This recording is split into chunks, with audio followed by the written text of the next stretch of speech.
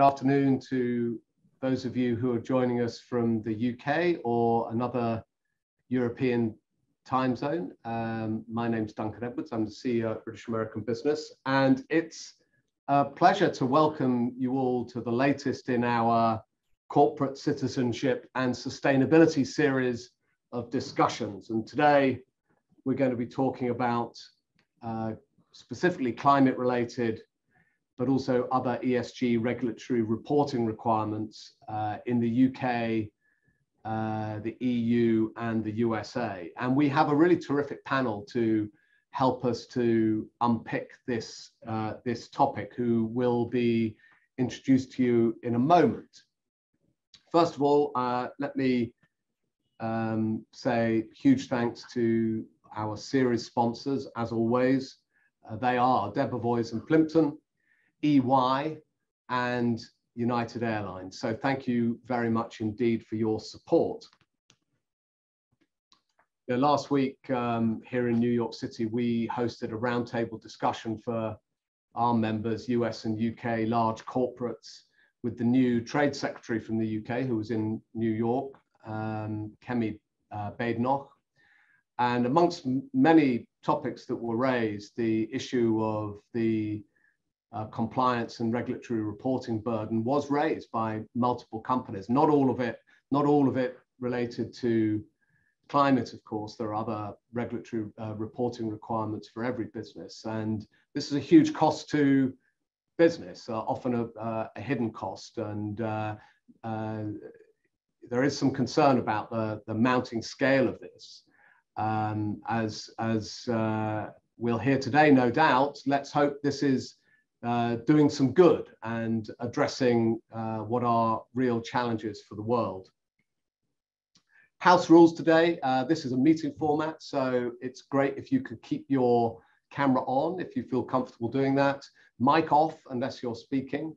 Um, we're going to have a discussion amongst the panel um, to kick off, and then we'd like to hear from you. So we'd like you to make comments or questions. And you can do that in a couple of ways. The, the first is to use the raise hand function. Uh, I'm sure everyone's familiar with this now, but there's a, uh, there's a panel at the bottom of your screen. You can raise your hand like that.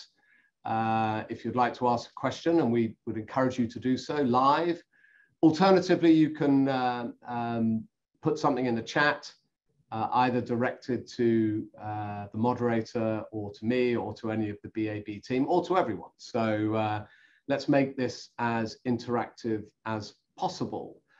Um, and with that, I'm delighted to introduce our moderator for today. Uh, we've, we've distributed the resumes of all of our speakers, so I'm, I do not intend to go through that, but let's say that Ulysses Smith is as well qualified as anybody to uh, moderate this discussion today. He is a senior advisor on ESG issues at Debevoise and Plimpton. Ulysses, thanks for being with us, and I'll pass to you. Thanks, Duncan. Uh, it's an absolute pleasure to be with you. Um, thanks to, to you guys at BAB uh, for hosting us and uh, for this partnership that we value so much. It's really great to be with you all. Um, I'm going to just do a couple short introductory uh, remarks. We have a lot to cover and we have a, a fantastic panel um, to cover it with. And of course, um, a good turnout with you um, and look forward to your questions. Um, it's, I think, a fascinating time for the world of ESG, uh, whether you're looking at Europe, the UK, the US, um, globally. Uh, and it's an amazing time to be um, thinking about the issues that we're here to talk about um, today. I think if if we all went back about a year, 12 months ago or so, I think the world seemed to be going in this uh, inexorable direction towards a bigger and brighter and more ESG uh, prevalent um, future. And I think in the last nine months or so, um, the picture has become quite a bit more complex and murky. Um, uh, uh, developments happening in the US, if you think about um, uh, some of the state level developments that we've seen over the last handful of months, um, some, some pushback uh, on, on some of the ESG agenda and priority um, the picture coming out of uh, this year's proxy season with the shareholder proposals related to ESG um, is full of currents going in one direction and then the other.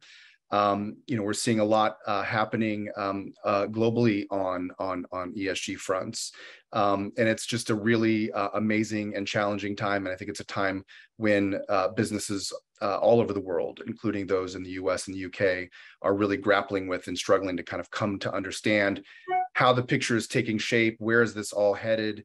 um, what are the specific requirements um, that they're they're going to be subject to and and you know the, the focus of this conversation is really on reporting and disclosure and there's a lot to get into there that's one piece of um, of this overall um, uh, challenging puzzling puzzle um, that we're that we're dealing with um, just to say on the on the reporting side you know at a at a big picture level you know we're seeing a, a transition away from a world that was predominated by you know voluntary uh, reporting frameworks, um, you know, wonderful reporting frameworks, the likes of, you know, the uh, the GRI and UNPRI and SASB and and um, uh, any number of uh, of these of these uh, regimes, um, slowly and now more quickly uh, shifting towards a more heavily regulated framework. And so, you know, of course, we see in Europe as the front runner on this, the Sustainable Finance Disclosure Regulation, which we'll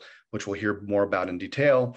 Um, developments coming out of the UK with the um, implementation of the TCFD aligned regulations, and um, of course here in the US, um, developments coming um, out of the uh, out of the SEC and proposed rules on um, on climate climate disclosures, as well as proposed rules more focused on uh, asset managers and, and, and, and private funds um, as well.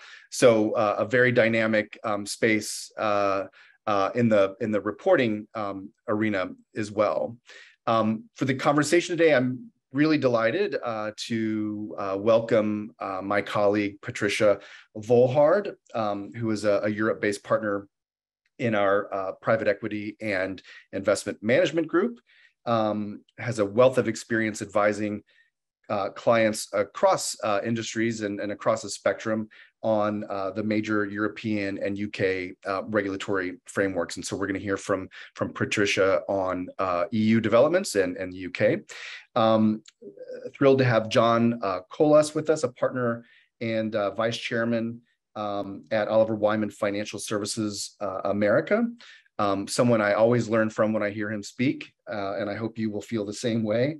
Um, a lot of great insight on uh, the US context. We'll hear uh, from him on the SEC proposed rule in particular. Um, and of course, insights related to climate and financial services uh, in the financial services industry. Um, and then lastly, we have David uh, Wynn, who's the uh, Chief Product uh, Officer at Greenstone, um, who we uh, are very uh, fortunate to have with us to provide some insight on how companies are actually operationalizing all of this um, that we're talking about. So with that, um, I'm happy to hand it over to Patricia first, if we can, if you could get us started um, for some perspective on the EU and UK uh, developments. Over to you, Patricia. Thank you. Thank you, Ulysses. And uh, hello, uh, everybody. So um, yes, in the EU and actually also in the UK, the approach that um, uh, has been taken by legislators uh, has been to sort of channel the money uh, in the right direction from a sort of climate perspective um, by way of disclosure. So um, the, the, the regulatory frameworks that we have in place here in Europe and are sort of going to further expand over the next few years and in the UK um, are all about uh, disclosure. And the, the main purpose behind that is um, as I think in the U US, and we, we will hear more about that, is to avoid greenwashing, to achieve that we have um, consistency in the in the terminology as is, it is being used and permitting the investors to compare products.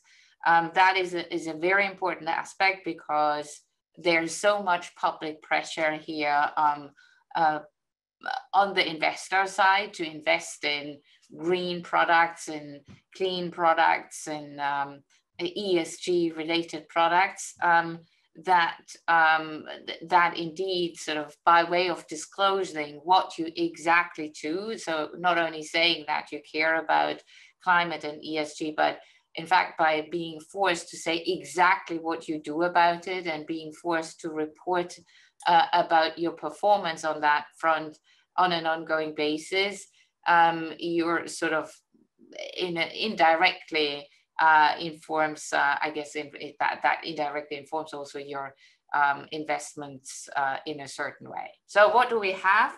We have um, uh, in Europe, the, the SFDR, um, the Sustainability uh, Financial uh, Disclosure Regulation, um, that um, is a regime, a disclosure regime that applies to all financial market participants. And so um, the, the way it functions is you have to categorize your products and also as a firm, you can categorize yourself, except whether in case you, you have a certain size, in which case you, you, you, you cannot choose um, which category you're in.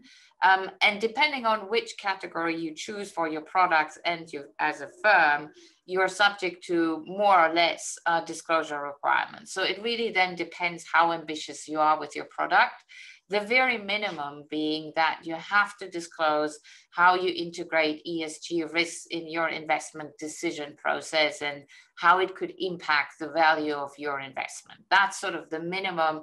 And from there, you can go further uh, towards you know doing principal adverse impact analysis or looking how your investment actually has an impact on other ESG factors um, and um, and you can go uh, towards um, making sustainable investments, which uh, under European times has a very specific definition. Again, sort of not only contributing to a certain objective, but also uh, making sure you're not having a, a, material adverse impact on other ESG factors.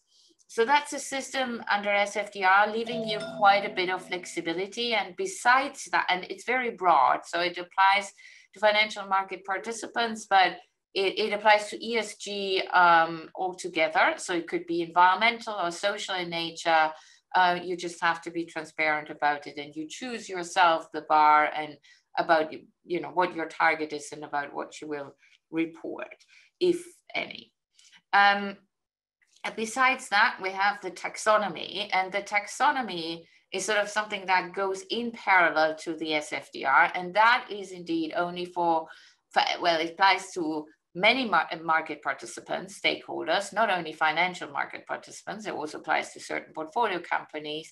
And what it does is if you, it, it, sort of defines when something is or an activity is considered to be environmentally sustainable from a European perspective. It really sets out certain screening criteria and certain activities uh, which will be considered sustainable if they achieve certain uh, certain thresholds and th certain targets and are within the scope of the taxonomy. Uh, for now, um, that only applies to uh, investments or activities that have as an objective climate change mitigation or climate change adaptation. Uh, going forward, uh, other environmental objectives will be added. So, but for now, this is really only climate related. Um, so that's basically what we have in Europe. And whenever you have a fund, for example, you, you have to report under SFDR. You know, you categorize yourself and then you report accordingly. And whatever you do, you have to make a statement whether or not you consider to make taxonomy aligned investments, meaning environmentally sustainable investments where you would screen climate related data if you were within the scope of the taxonomy. Um, in the UK, just a very quick few words on the on the UK. We have a different system in the UK. Um, so the UK has decided not to adopt the um, SFDR uh, and it, also not the European taxonomy. That said, the UK is working on on their own taxonomy, maybe you know, uh, looking at how things are going in Europe and building in some improvements. Um, but, my feeling being less prescriptive maybe than than the Europeans. But for now, this is still in the making. So there is no UK taxonomy for now. In the UK, you have the Green Taxonomy Advisors Group that is working on it, that working on screening criteria for climate adaptation and climate mitigation. And, um, and it is expected that uh, something will go out um, in, the, in the second quarter of uh, um, um, of um, of this. Uh, uh, sorry, in something will go out by the end of this year. Um, so um, what else do we have in the UK? We have what we have already today is the TCFD, and we will hear more about that because it's also quite relevant in the US. The TCFD is the Task Force for Climate Change Related Financial Disclosures. Um, until now, just a voluntary regime, um, uh, uh, but with um, now um, these new developments, the FCA um, has made clear that the TCFD will apply on a mandatory basis to certain uh, participants like uh, regulated MIFID firms, uh, regulated fund managers, and, and so on. And depending on which size they have, they will have to report about their climate change related, how, how they consider climate change related aspects in their management, in risk management, corporate governance, the metrics they apply, and so on, both on an entity level, but also product level. And the reporting will apply or will become mandatory for uh, certain firms that exceed a certain threshold that have uh, 3 billion um, in, uh, in um, assets under management uh, or more uh, over a rolling average of three years um, as of um, the first report will then be due in 2000, uh, June 2024, with the reporting period being in 2023. And for firms that are even bigger, uh, uh, 30 billion um, assets under management, it uh, will apply already in 2023, the first report in June and reporting period uh, uh, uh, being already this year. Um, so um, that uh, with that, I, I, I, would leave it there because I know we have a lot to talk about and maybe happy to answer further questions, but that's just to give you a sort of a quick overview about the regulatory frameworks in place in the UK and in Europe. Terrific. Patricia, thanks so much. That's super helpful um, place to start. Um, and yes, definitely some follow-up questions, I'm sure. Um, but now I think if we can go to, to John just to continue setting the table um, with what the picture in the US looks like. Uh, that'd be helpful to come to you next, John. Uh, sure. Thank you, Ulysses, and thank you, uh, British American Business, Duncan, and the team for hosting us today. Um, so, Ulysses, you said in your opening remarks that certainly there's a lot going on and there's certainly a lot of change uh, underway, but I think perhaps the most dramatic uh, and significant development in the recent year has been the SEC's announced proposed rules on climate disclosures. And uh, I think part of the indication around that is the number of comment letters that the SEC has received uh, in, the, in the intervening period from March. So I think the total number of comments is now approximately 15,000. So order of magnitude more than what uh, any proposed rule would typically receive. So the SEC rule is really, I think, something that just reminds us all that climate disclosures are here to stay. Uh, Patricia has alluded to the many different frameworks emerging in the European Union and the United Kingdom, but here in the United States, there's a lot of debate as what will be the final shape of the SEC proposed rule. But nevertheless, investors are demanding and consumers and others are expecting more transparency, more disclosures, and I think for all of us on this call, there's just a general recognition that uh, climate risk disclosures are here to stay. When I step back and look at uh, the proposed rule by the SEC, and I'm sure all of you are familiar with it, I think there are a couple things that are noteworthy. As Patricia just referenced, um, the TCFD is really something that the SEC referred to and based much of its recommendations and framework on. So to some extent, those firms that have already embraced TCFD have uh, a good starting point. I think it's important to say that while the SEC rule hews closely to the TCFD, uh, there are additional uh, requirements and additional references to things that firms may not yet have in place, even if they have been working on TCFD since 2017. The good news with respect to TCFD is not only is it emerging as uh, a de facto market standard. Now over 3,800 companies are supporters of the TCFD. And as Patricia alluded to, there are uh, already eight jurisdictions, including the UK, Singapore, New Zealand, Hong Kong, and Japan, who have all mandated TCFD-like disclosures. So to my opening point, uh, climate risk disclosures are here to stay.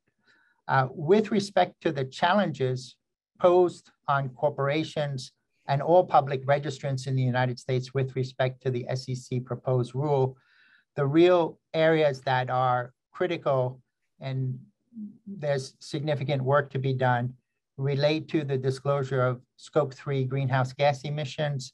Um, and as many of you would have read, the rule also says if you have um, developed a transition plan, please disclose that as well. If you've set targets on a net zero journey, please disclose that as well. So there are specific aspects of the SEC rule that uh, are required to respond to, including board and management climate related expertise, uh, frequency of reporting, plans to adapt to specific physical risk, uh, disaggregation of greenhouse gas uh, by each constituent greenhouse gas. So there's a lot, there's a lot in it, uh, and it does represent significant work uh, for the industry.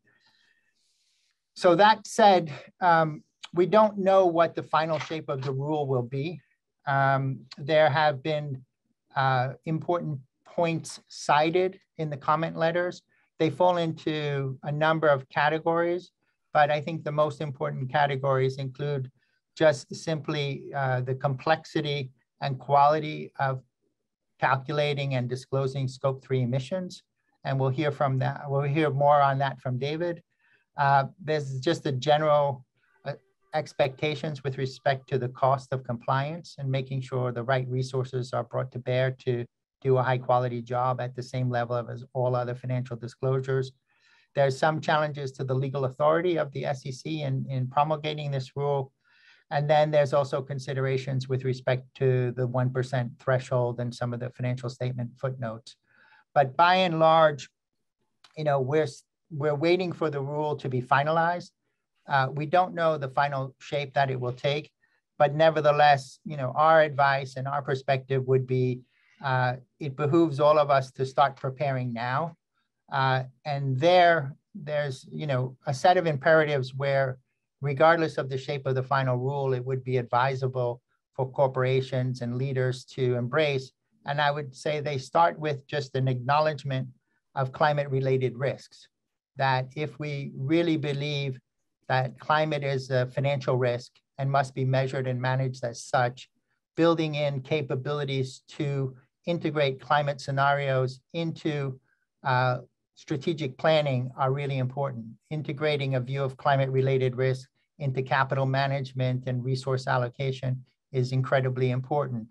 And so we believe building that scenario analysis and risk management pillar is is essential. In addition, um, getting going on calculating greenhouse gas emissions, we also think is very important. That scope one and scope two emissions are largely reported to by those participants in, uh, in CDP on a regular basis. The higher quality that we can get on scope one and scope two, the less anxiety there'll be in capturing scope three data. But getting going on greenhouse gas emissions quantification and reporting, we think is important. And then finally, and perhaps you know the most important, is reflecting on transition plans. Ultimately, when we look at this challenge, we don't think of this as a disclosure challenge in and of itself. We believe that ultimately this has to be um, integrated in business strategy. And the reflection of business strategy is going to be articulated in a well-crafted, commercially smart transition plan. How will the company thrive in transitioning to that low carbon economy? What are the risks and opportunities that that presents? And being incredibly articulate and buttoned down in terms of the understanding of the implications and conveying that uh, to stakeholders, we think is ultimately the most important effort. So I'll pause there, Ulysses, unless um, you'd like me to carry on. No, that's great, John. That's a great that's a great place to start, um, and uh, you know appreciate um, um, all those observations, including you know confirming uh, that in fact we do still have uh, only a proposed rule; it hasn't been finalized, and of course the journey for the the uh, the SEC proposed rule um, may be extended by litigation and, and court challenge. Um, you know, we're expecting that that may be um, in the offing as well once we do get a, a final rule uh, from the SEC later this year, uh, most likely. Um, and just also to acknowledge, uh, it's not something we're going to really get into in this discussion. Uh, we're focused on the uh, the proposed rule from the SEC back in March uh, related to climate disclosures for public, you know, companies and, and, and SEC registrants. Um, but the SEC has been very active in its rulemaking this year. Um, um, on ESG and climate topics, including um, two proposed rules that came in May. Um, one focused on uh, the um, the fund's uh, names rule, uh, and and another more focused on disclosures for asset managers and and private uh, fund advisors um, et cetera. So um, Debevoise does have a, an ESG resource center on our website that has lots of information, including um, some briefing materials on those proposed rules if those are relevant to you. Um, but Patricia, before we go to, to David, I wanted to just come back to you for one second to pick up on something that uh, John started to allude to a, a, a bit. Um, um, you know, the TCFD is uh, a common ancestor, I think, for a number of these different frameworks. Uh, uh, you know, the SEC does cite TCFD and its um, proposed rule. Um, and I'm just curious for your thoughts, you know, on the extent to which, from a practical point of view, um, there is alignment between these different regulatory frameworks. If you're a, a global uh, company that's subject to regulation in, in the UK, the US, and Europe, and elsewhere, you know, will there be the ability to kind of kill two or three birds with one stone, so to speak, or is it going to be a, of sort of divergent um, landscape do, do, you expect? And I appreciate that the SEC proposed rule is still proposal. We don't have it finalized yet. But what are your thoughts on that before we go to David?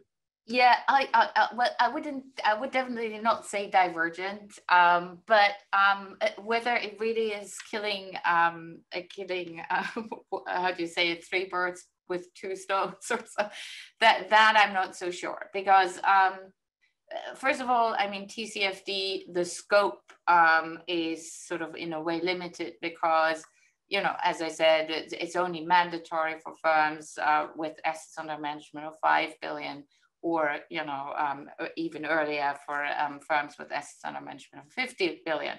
But, but, um, but even, even that sort of the, uh, the, the European regulation is uh, broader. Um, it sort of it, it, it provides for any kind of ESG and criteria, and so you can sort of qualify your fund as an Article 8 or 9 fund, an ESG related fund or impact fund, um, even without having any climate change related uh, um, aspect in there. That said, if you are from a European perspective, a fund that qualifies, for example, as a fund making sustainable investments or even a taxonomy aligned fund.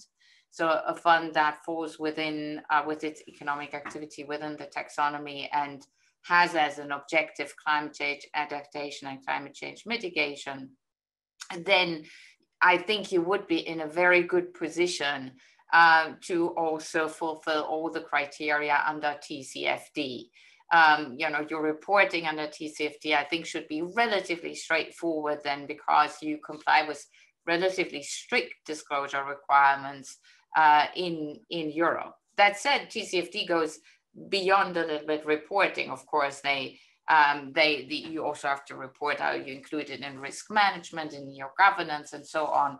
But, um, but generally, I think that would be sort of an alignment and it is clearly going in, in the same direction. And also in the US, if I look um, at the, you know, also just proposed rules out there, um, we do see that the SEC is also, of course, proposing uh, categorization of funds uh, climate uh, funds, um, ESG integration funds, ESG related funds, and then impact funds, which is kind of the same categorization we have here in Europe. And depending on which category you're in, um, I would suspect that uh, disclosure requirements will vary. And the, the, the, the purpose being exactly the same as in Europe, um, we want to avoid greenwashing. We want to achieve consistency in, in the terminology that we apply, and we want to permit uh, investors to compare products in a certain way. Um, and so I think from that perspective, there is certainly uh, uh, an overlap that we can work with pretty well, um, but um, but not one to one, of course. So um, great. Thanks. Yeah, I know there has been a lot of talk about um, trying to align, and and that's been um, an idea that's been in, in people's minds. Obviously, that would be very helpful. But um, yeah, we'll have to see how it all shakes out. Um, David, thanks for waiting uh, patiently for us. Now, if we can come to you, uh, it'd be really wonderful to hear a bit more about you know your businesses you're working with and how you're helping um, helping companies uh, operationalize uh, these reporting rubrics. Over to you. Great. Yeah, thank you so much for the invite. Um, so I'm David Wynn. I'm the Chief Product Officer at Greenstone. We are a sustainability software company. So we were founded back in 2007 when mandatory carbon reporting came into the UK. Um, so we have a long history of working with companies to provide them software solutions to help manage this ESG landscape. And having done that for a decade in the UK, I moved to New York last year to open our US office. Um, and thanks to BAB for the great resources that helped us with that process. We see day to day uh, the challenges uh, that organizations have navigating this messy ESG world of disclosure. Um, and it's no surprise that in the last couple of years, the role of technology in ESG has boomed in terms of looking at how software can help better enable businesses to aggregate data, analyze data, report data uh, within this landscape. So we've really seen the movement of this type of reporting uh, move from being often a project within a business to a process. Um, so companies will often start out thinking about ESG reporting as maybe one person's project or role. Um, and now the maturity of many organizations is it's really about embedding processes to efficiently manage that information. It's certainly been interesting. Um, you know, I've been with Greenstone in 10 years and working with organizations in the EU and the UK for a long time on the sustainability journey. And the improvements of data in terms of coverage and quality.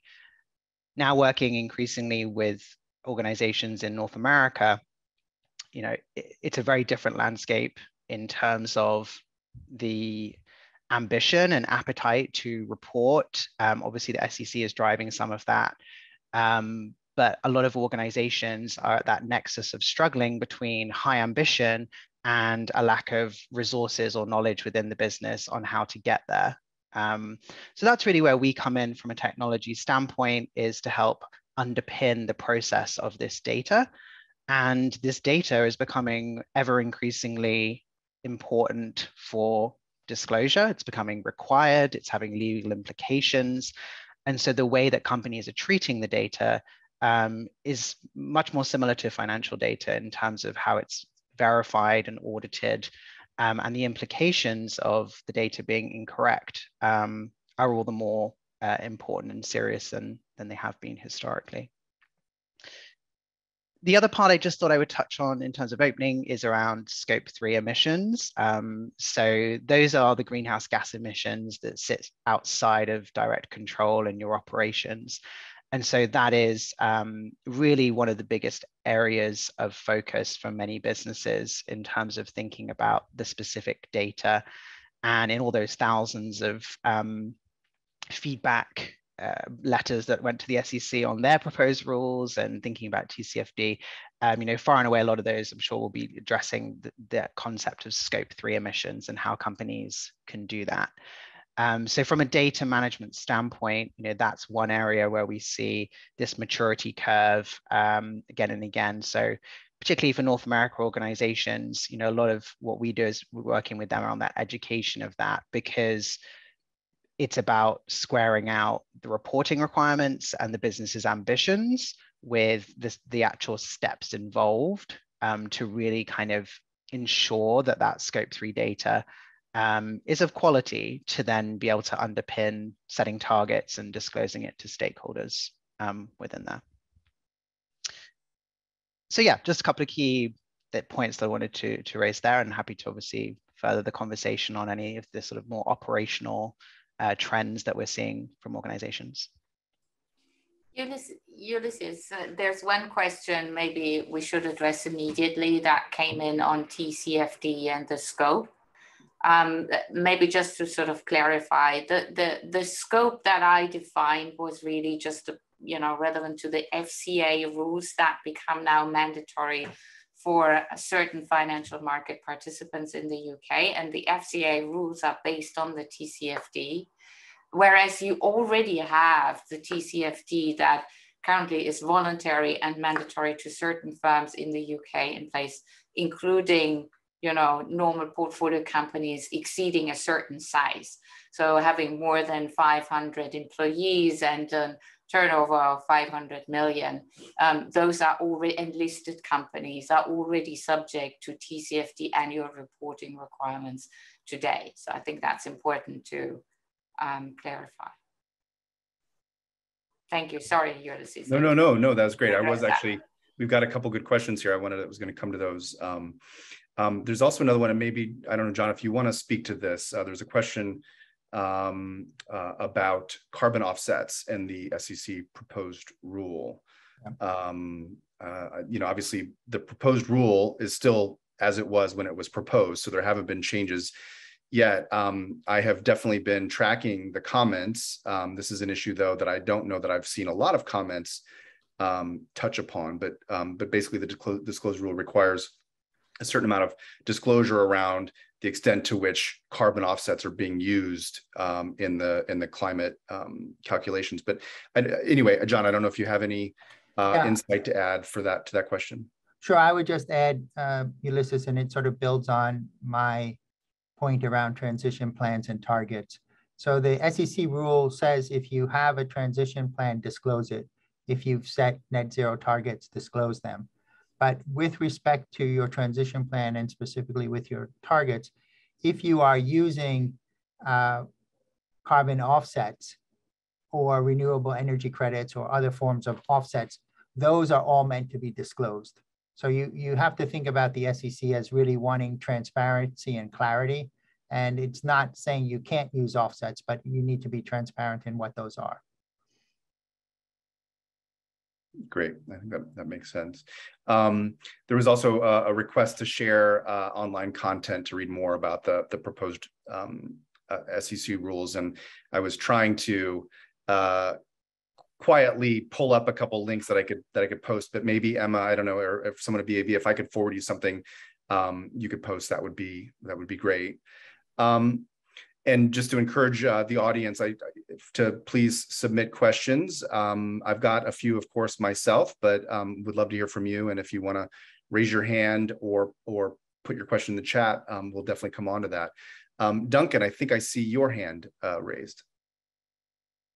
Yeah, thanks. I just want to pick up on the. Um, so I, I was the one who posted that that point in the in the chat about who's going to be required uh, to mandatory, mandatorily report under TCFD. And I'm just curious because I, I, don't follow the um, uh, sort of EU regulation uh, that closely, but is there an equivalent there that there is going to be mandatory climate change reporting for regular companies rather than just you know, financial market participants, investment advisors, investment funds, and so on. Um, so and and and yeah. so how how you know, how deeply is this requirement going to go? I mean, if you're just tackling the investment industry, that's one thing, but it's the underlying uh, yeah. investee companies that, that, that clearly we represent largely. So I'm just curious, what's what what is likely to come in the EU? And, and, and similar question to John. Again, I'm not 100% sure I understand the the scope of the SEC requirement, whether it applies to you know, regular companies, private companies, uh, and is there a de minimis level uh, below which it doesn't apply? Thank you, Duncan. I think that's an excellent question. Um, so maybe just sort of as a general comment, I think the reason why they start in Europe really uh, with the within you know the financial market participants is because these give the money to the companies and um, sort of make it as you know the, the hope is that um, in their due diligence process and when making an investment decision, they, they sort of impose or encourage the companies to behave in a certain manner and provide certain data going forward, implement certain procedures and so on. But that said, we, we, we have in Europe, um, the idea is to apply that the taxonomy really as the key regulation to all stakeholders going forward. We have already today, like in the UK, in fact, the UK is sort of still based on the European rules um, when they were still you know, part of the European Union, the, the non-financial disclosure uh, regulation or directive, which um, sort of uh, imposes uh, on listed companies and certain large companies and insurance companies to provide non-financial reporting, which going forward also includes reporting under the taxonomy, so the climate change related uh, uh, reporting. Um, so, so, and that directive will be further expanded under the uh, Corporate Sustainability Reporting Directive. So it will include not only listed going forward, but also larger private companies. And, and then I think the idea is also, you know, in the longer term, uh, smaller companies. And in addition, there's another directive which then provides that it's called the Corporate Sustainability Due Diligence Directive, again, applying to all companies, financial or non-financial, and they have to in place a certain regime to take into account supply chain and environmental aspects.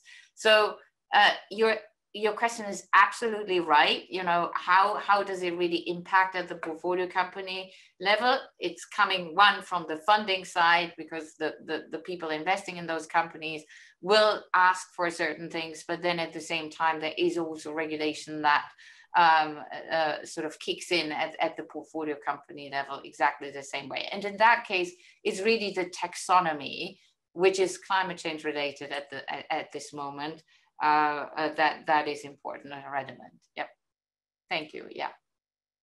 And then Duncan, I would just add for the SEC proposed rule, it applies to all public you uh, you all public SEC registrants. Uh, where um, you know it gets a little bit more um, you know tailored, if you will, is the time horizon. So large accelerated filers are going to be required uh, currently under the proposed rule uh, to uh, begin the reporting in the first fiscal year after the rule is finalized. the next category is referred to as accelerated and non-accelerated filers, which would be uh, beginning with the second full fiscal year after the rule is finalized. And then smaller reporting companies would be in the third year.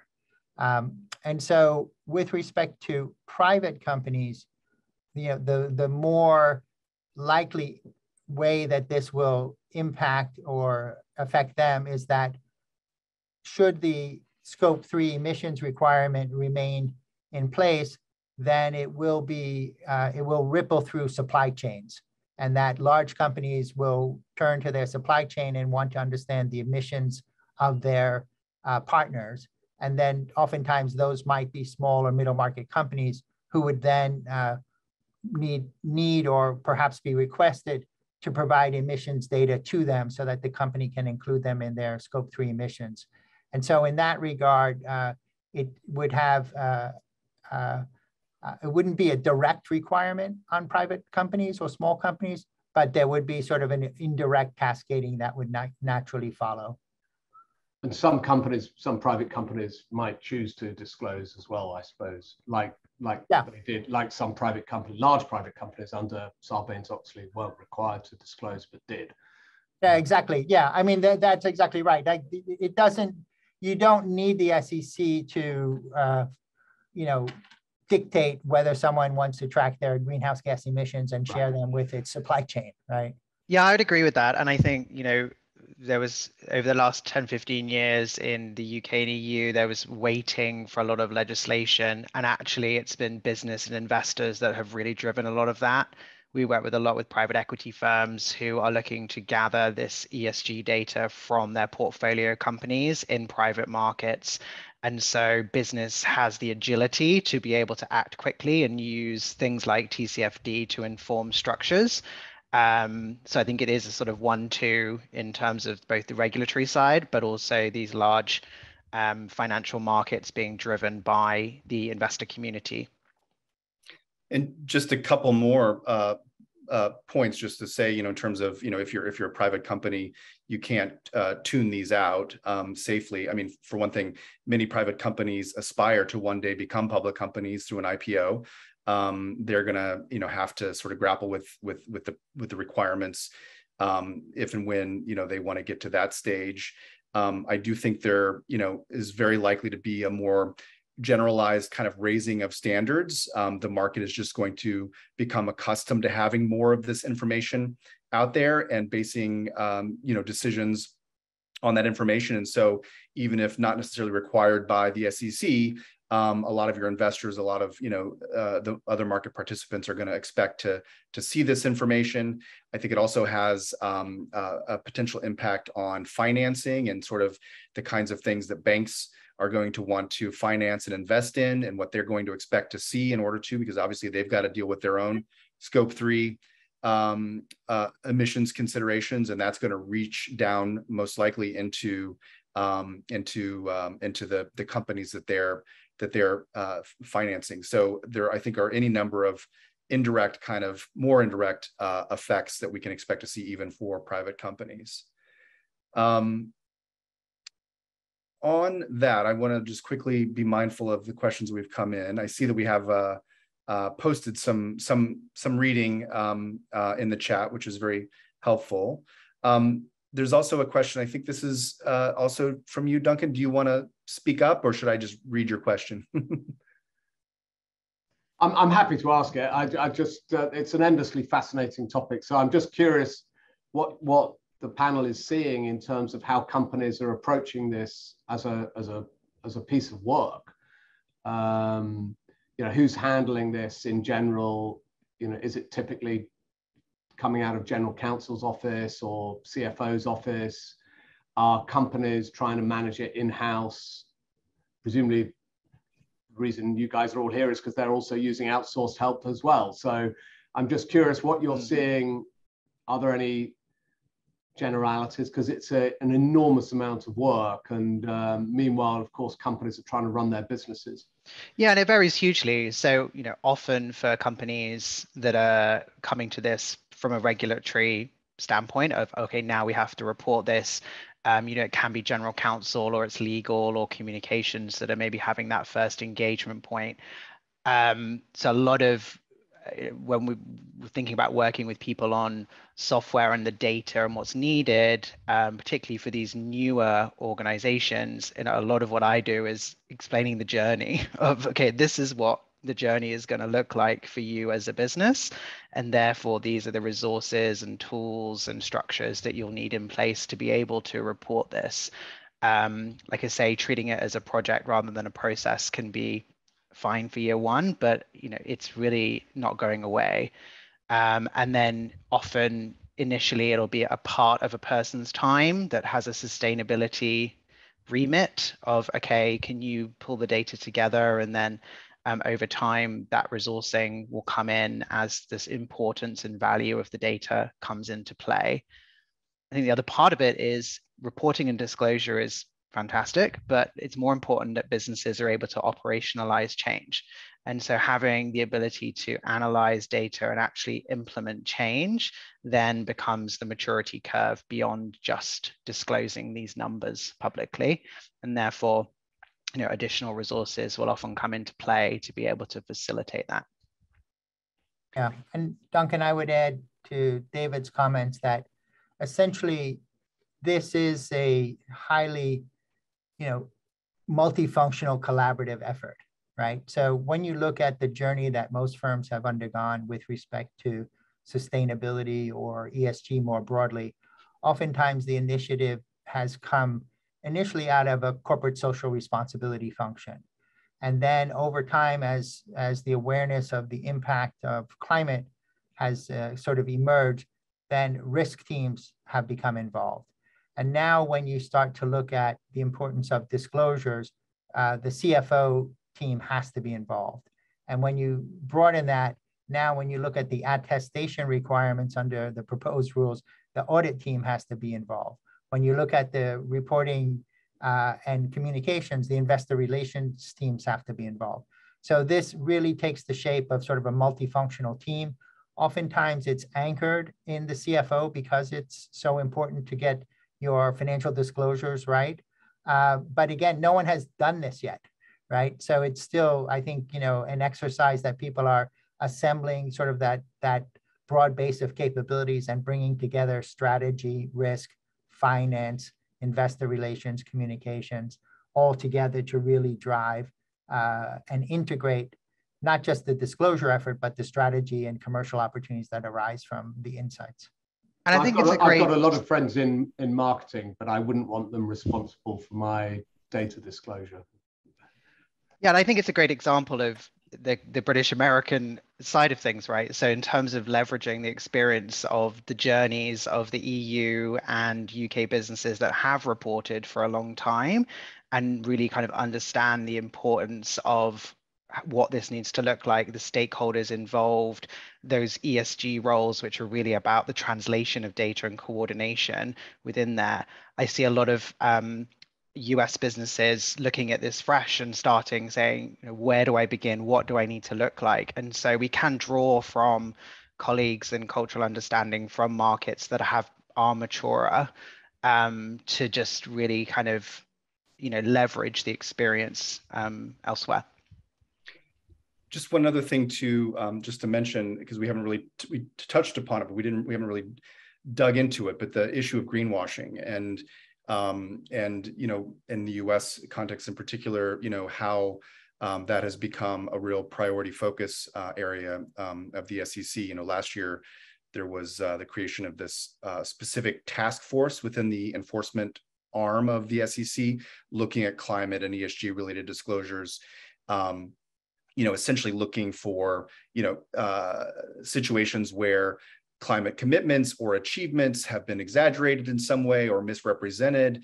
Um, and we're starting to see, um, you know, some of the first uh, cases coming out of that that task force uh, in the last, you know, six to nine months or so. Um, so just, uh, I guess, maybe a little bit of a plug for the lawyers in the room as well. Um, you know, these issues are uh, creating legal uh, exposure. Um, uh, through disclosures, obviously, it's a, it's a, as I mentioned at the top, a, you know, increasingly more heavily regulated space. The governance of ESG and climate is is um, more and more subject to law and regulation. Um, and so I think you're also seeing, you know, the general counsels and and, and the legal teams um, coming in as well.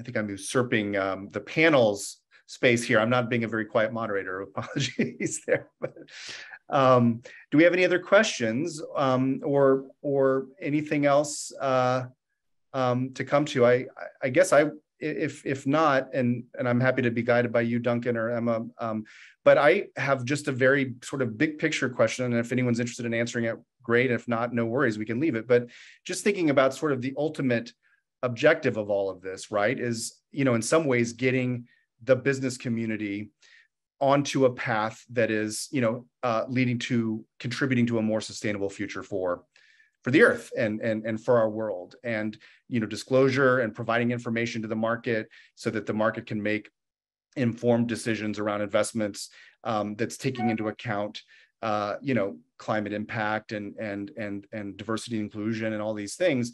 Um, you know ultimately that is sort of the the goal. And so i guess my question to the panelists um, as we're getting close to the end is you know do we feel like the regulations and these reporting regimes are they contributing to kind of getting onto that path? You know are there ways in which it's counterproductive? Um, you know how do you feel like this is all adding up to uh, helping to get to the ultimate goal. Um, if you want to take that up i'd you know love to hear from you guys but if not we can hand it back to, to duncan and the team. Look I, I, I might take sort of a first uh, try answering this. Um, i think in europe uh, we, there's a lot of you know critical voices about this new regulation because there's a lot of uncertainty uh, about very substantial things like what do we mean by consider what's the exact scope or uh, uh, really you know important. And with that goes quite a you know important uh, liability exposure of firms of sort of misrepresenting uh, in the documentation and so on. So um, you know people there some people who are frustrated and upset there are others who are quite um, happy that this is going in that direction. And um, quite honestly, I do think that this regulation will have, will change things. And I'm seeing that it does. In fact, um, I see that uh, clients, I mean, I'm a funds lawyer, so obviously I see uh, mainly fund sponsors, uh, but I, I, do see them sort of, they're, they're thinking, I mean, they all cared about ESG before, but now it's much more concentrated, it's much more concrete. It's, it's, they're being forced to disclose and there's so much public pressure because that's what investors want to see. And also uh, um, portfolio companies, if we talk about portfolio companies here in Europe at least, and it's the same in the UK, clients really want to see you know the, the, the climate related aspects of their products they do care about these things and and so I think it's a big target marketing tool, and and and that's why I, I think you know forcing them to do proper disclosure and using the same terminology uh, will have a certain effect. I, I do believe in that in in, in that. Yeah. I would I would just echo Ulysses that I think when you look at all the proposed rules and all the activity that's going on you know, at the core, what we're really saying is two things. One, markets function better with better information. And two, you know, one of the consequences um, that has led, or one of the causes of climate change is greenhouse gas emissions.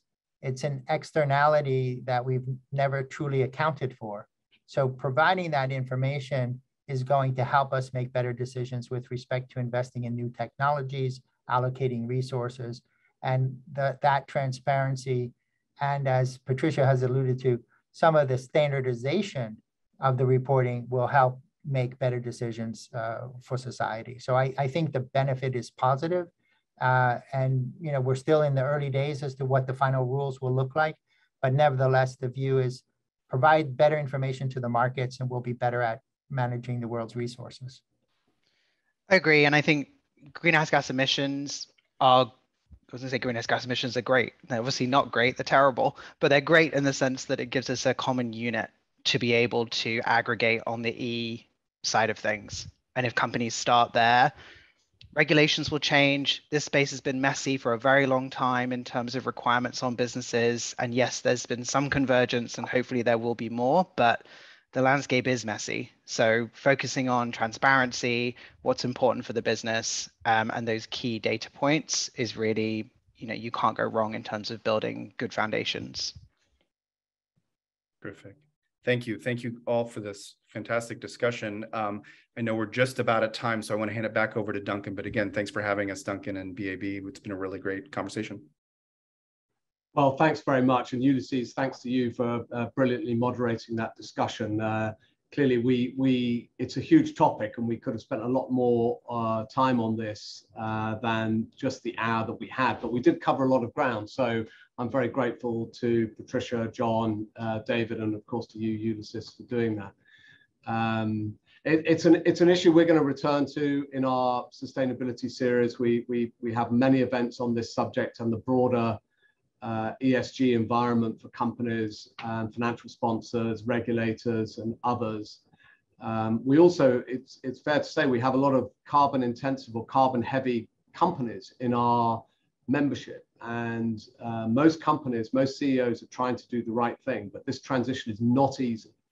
And it's going to be a kind of slow and difficult challenge for, for large corporations to get through. But uh, human human ingenuity is amazing.